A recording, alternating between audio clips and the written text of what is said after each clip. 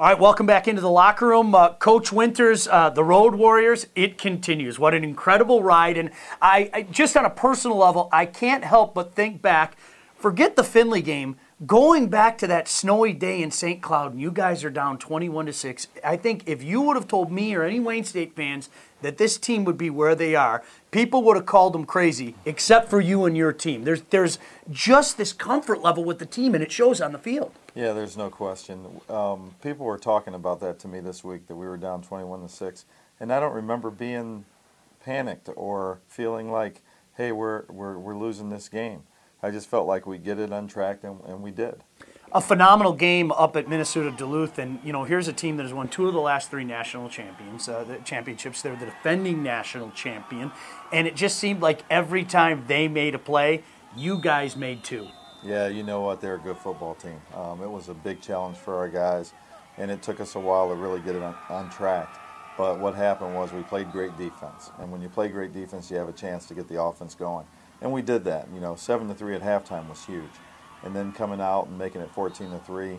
Um, you know, you can't say enough about our kids, and they, they responded with a, a kickoff return, and we still came back and scored again. So I'm real proud of the way our guys played. Coach, we've talked so much in the past year about building this program and, and taking it from where it's been. And one of the things that we've you know talked about quite a bit is it seems like every week somebody else is stepping up for this football team. And I, I was messing with Coach McKenzie uh, on the bus after the game, and I, I said, okay, which linebackers are going to be next week? Because it, if it isn't Jordan, it's Ed Viverette. Ed Viverette really had the game of a lifetime on Saturday up in Duluth. Yeah, you know what? He, he's played so well. Um, and just now he's fully healthy.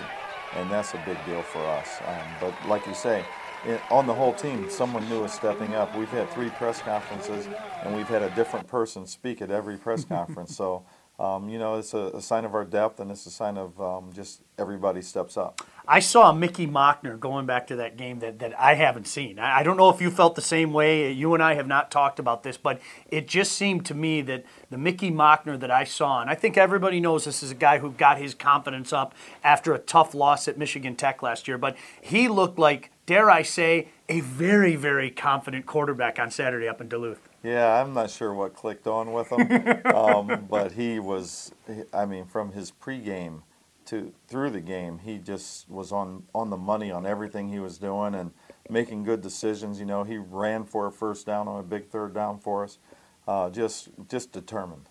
Hey, Coach, let's talk a little bit about Winston-Salem. I mean, yet another challenge, uh, three road games in a row. Heck, may as well make it four, but uh, this is a team that's unbeaten. There's something to be said when you go through the whole schedule at this point in time, and there aren't any losses on that ledger. Yeah, they deserve a lot of credit. They're a good football team, have a lot of talent.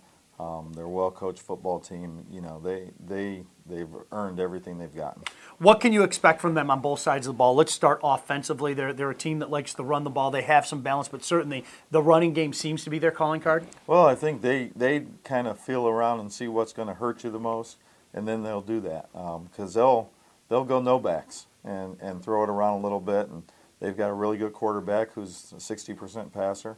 Um, but they can pound you because they've got a 250 pound tailback that's obviously very strong. Scored a ton of touchdowns this year too. It's unbelievable looking at the numbers. Defensively, what what kind of problems will they present for the Warrior offense? Well, they're very fast, they're very athletic, um, and they're very big. Those are really the combination you want. Um, uh, good defense, uh, very sound, and uh, they're they're going to give us tons of challenges.